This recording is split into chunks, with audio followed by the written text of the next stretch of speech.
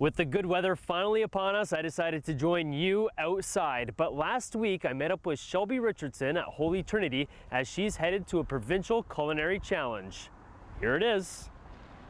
At Holy Trinity, and joining me is Shelby Richardson. Shelby's actually going to a provincial championship for culinary, isn't that right? That is right, yep. Where are you going? I am going to Edmonton on May 14th and 15th to compete in Skills Canada. So, what kind of skills are we talking about? Are we talking appetizer, entree, everything, or like how, how does this work? Well, the basics is I'm going to be making a stuffed chicken breast with forcemeat and also some carrot bâtonnets, broccoli florets, some gravy to go along with it, which is called chicken velouté, and also some Spanish rice pilaf. So that's going to be the main dish, and I also make a dessert.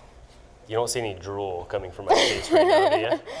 it sounds delicious. Now, I guess you want to be a chef when you grow I grow really up? do, yeah. Do you? It's my dream.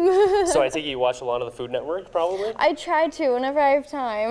Oh, well, that's good. Well, the good thing is, is we're going to actually have a little competition later on. Since you're going to culinary school, what we're going to do is, I know you're not going to be a part of it, but I am, and we're going to put my skills to the test. do you think I can com- compete?